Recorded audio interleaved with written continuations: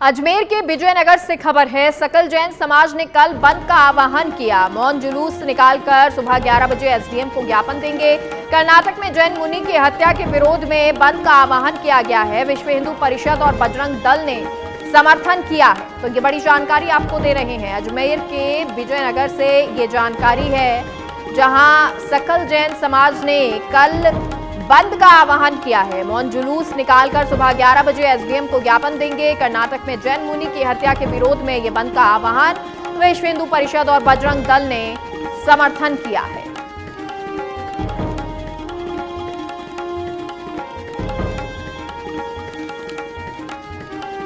अजमेर के विजयनगर से ये खबर सामने आ रही है, जहाँ पर सकल जैन समाज ने बंद का आह्वान किया है। कल ये बंद किया जाएगा। मौन जुलूस निकालकर, मौन जुलूस निकालकर 11 बजे एसडीएम को ज्ञापन देंगे। कर्नाटक में जैन मुनि की हत्या हुई थी और उसी का विरोध जताया जा रहा है और उसी विरोध में अब बंद का आह्वान किया गया है। कल 11 बजे ये बंद किया जाएगा और साथ ही साथ ज्ञापन दिया जाएगा। एसडीएम को यह ज्ञापन सौंपा जाएगा। विश्व हिंदू परिषद और बजरंग दल ने इसके लिए समर्थन दिया है। अजमेर के विजयनगर से ये जानकारी।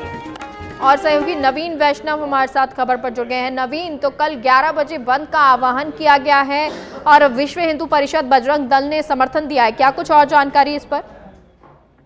जी, मैं आपको बताना चाहूँगा कि जो ये आचार्य काम कुमार नंदी जी महाराज थे, इनकी कर्नाटक में निर्मम हत्या कर दी गई थी और इनके शव के टुकड़े करके अलग अलग जगह फेंक दिए गए थे। इसको लेकर जैन समाज के साथ ही पूरे देश भर में रोष है और इसके चलते कल यानी गुरुवार को भारत बंद का आह्वान किया गया और इसी के चलते अजमेर जिला भी कल बंद रहने वाला है और सकल जैन समाज की ओर से बंद का आह्वान किया गया जिस पर जितने भी व्यापारिक संगठन है और जो सामाजिक संगठन है सभी ने इसमें अपना समर्थन दिया है। जी। नवीन कल एसडीएम को ये ज्ञापन भी सौंपेंगे? जी एसडीएम स्तर पर एसडीएम को और जहाँ अजमेर की अगर बात करें तो जिला मुख्यालय पर जिला कलेक्ट्रेट को राष्ट्रपति और प्रधानमंत्री और जो कर्नाटक सरकार है उसके उसके नाम ज्ञापन सौंपा जाएगा और दोषियों को सख्त से सख्त सजा दिलवाने के लिए फास्ट ट्रैक कोर्ट के ज़रिए सख्त सजा दिलवाने की मांग की जाएगी। साथ ही जो जैन मुनियों की सुरक्षा को लेकर कल्याण बोर्ड बनाने की भी मांग रहेगी। जी। ठीक है बहुत बहुत शुक्रिया नवीन तमाम जानकारी के लिए।